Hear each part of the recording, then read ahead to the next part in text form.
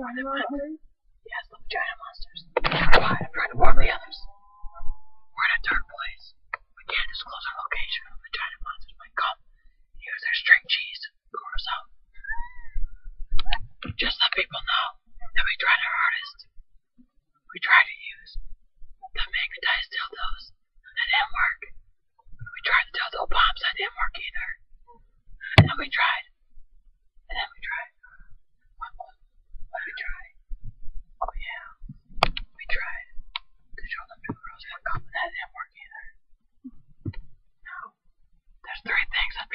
the outside have to know.